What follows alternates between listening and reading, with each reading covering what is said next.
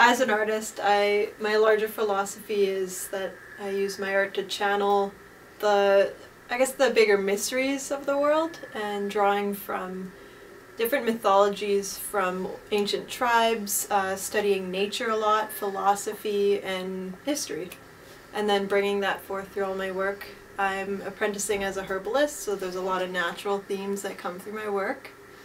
And yeah, it's been a, a really big privilege being a part of this amazing crew and connecting with more of the artists in Winnipeg. I feel like a lot of the artists go into hibernation.